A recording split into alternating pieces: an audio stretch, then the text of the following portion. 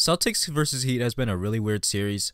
Both teams seem to be bipolar as fuck when it comes to whether or not they want to play good basketball. There have been many violent swings in this series, not only in the lead changes when the actual body contact. I swear this dude Marcus Smart gets injured every other game, though he did return after spraining his ankle. Back on point though, PJ Tucker experienced a very extended fall. The Heats are leading the Celtics 54 to 33 with 6:27 left to go in the first half. PJ Tucker is trying to keep up with Jayson Tatum who's streaking down the court with the ball. PJ is kind of running at an angle because he's looking at JT while running down.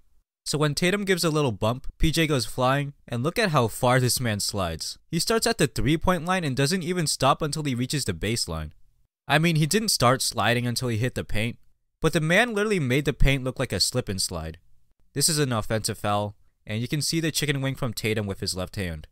These types of plays are the ones that make you want to quit if you're the Celtics, but they actually made the game competitive after trailing by 26. Just multiply this play by 24 and you'll get the same amount of turnovers the Celtics had in this game. Looking like the Warriors half the time, the way they be giving the ball up. That was the Celtics' downfall during this game. Let's take a look at this slide by PJ again. The push off from Tatum doesn't look all that bad actually.